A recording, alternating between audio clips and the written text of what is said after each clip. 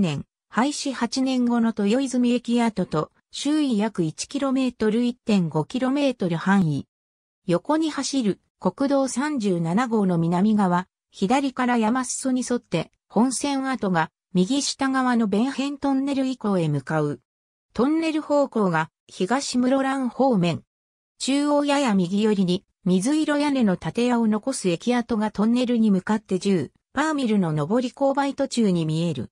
中央左の小道の踏切より、左側の内側に山を巻くように、スイッチバックの加速線跡が残されている。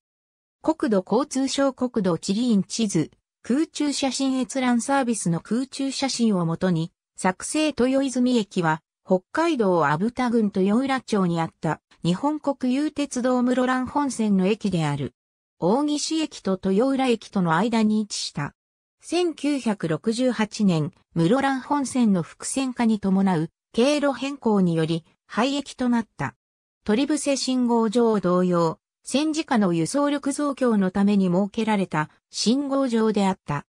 所在地の地名、豊住から名付けようとしたが、前年に仮乗工場から駅に昇格した地北線、豊住駅と重複するため、この地が非常に良質の水に恵まれているため、光線としたとされる。信号場時代は一線スルーのスイッチバック式交換型信号場として同時期に設置された鳥伏せ信号場をほぼひっくり返したような形であった。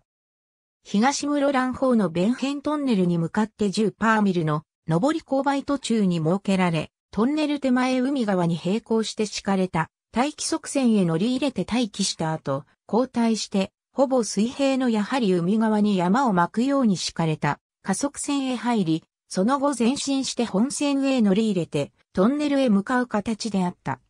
2010年時点で相対式ホームと駅舎の土台、駅間車の2階建ての建物が残っている。豊住仮乗降場に関するカテゴリー、豊住信号場に関するカテゴリー。ありがとうございます。